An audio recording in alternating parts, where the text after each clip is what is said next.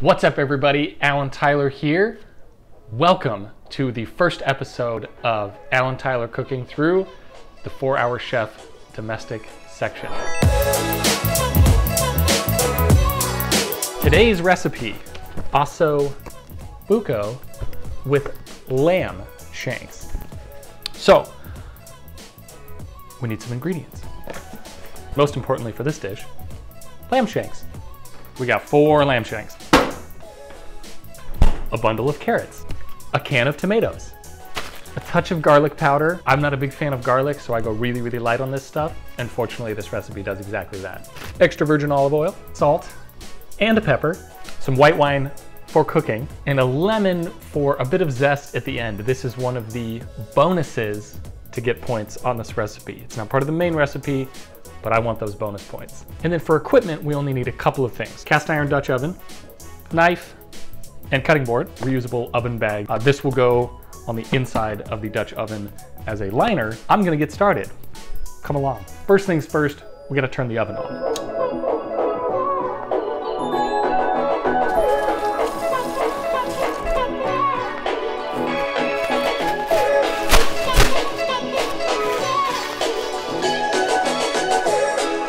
That'll work.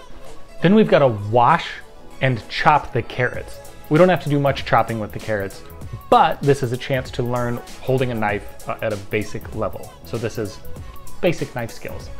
The point here is rather than holding a knife actually on the handle and grabbing it however method you want to there, this is learning how to actually grab the blade.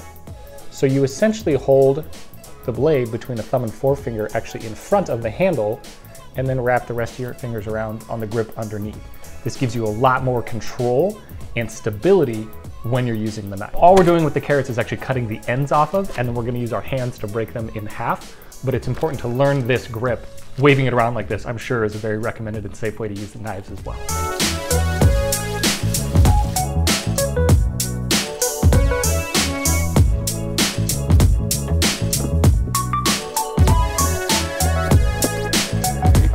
Now we're just gonna build ourselves a bed of carrots.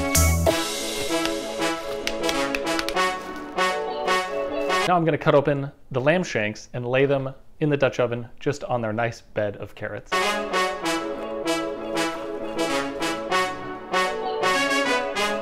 Now we're gonna add tomatoes, garlic powder, olive oil, white wine,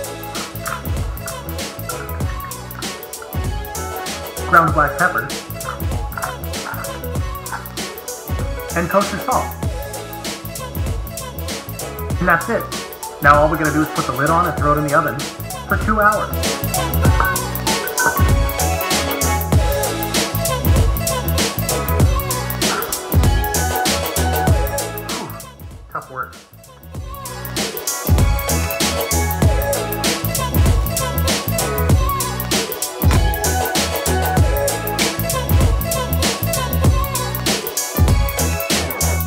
Wow, that was a really, really tasty meal.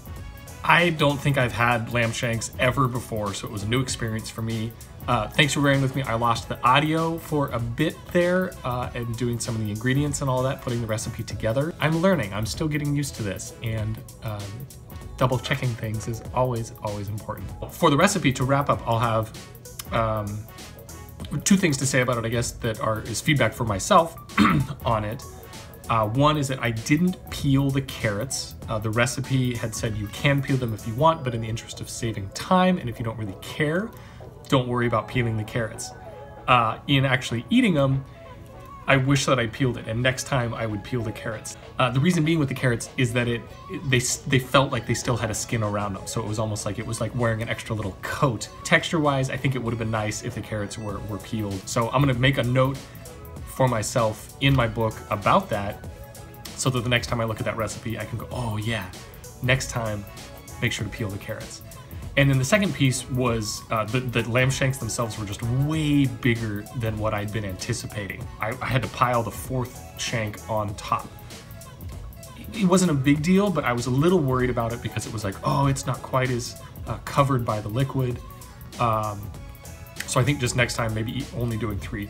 But that being said, it totally turned out. All four of them were were fantastically well done um, in terms of getting cooked. It was nice and tender. It was real juicy. So they turned out great. So I learned about the recipe, but skills that the book was trying to teach me, rapid learning method, I learned about one knife skill, the way to hold the knife, kind of gripping the blade with these fingers and then wrapping the rest around the handle underneath. And then the second thing I learned about braising or slow cooking, slow, long cooking. Definitely a method to uh, appreciate and know about and keep in mind to use again in the future. So I'll have to look at doing those variations down the road.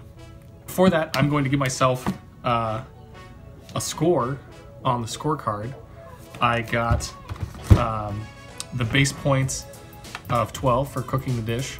I also did the two different bonuses. One was uh, learning to use a microplane and shave a little bit of lemon zest over the top of the dish when it's when it's plated and ready to go. Um, it's just kind of fun too. It's like little lemon snow. And then the second variation or the second bonus was uh, testing kind of simmering temperature. Uh, so in total, I'm gonna give myself a score of, of a 16 for this meal, which is actually out of all of the meals, you'll see um, the highest points for the base meal. So this, I think, is actually one of the most complicated or most intense dishes out of the intro program. So I'm excited to see where the rest of them takes them. Up next for the next episode is going to be scrambled eggs. Thank you for checking it out. I hope you learned something. I know I did. Don't be afraid to hit that like button. Go ahead and subscribe if you aren't already. And I will see you in the next 4 Hour Chef video, if not sooner.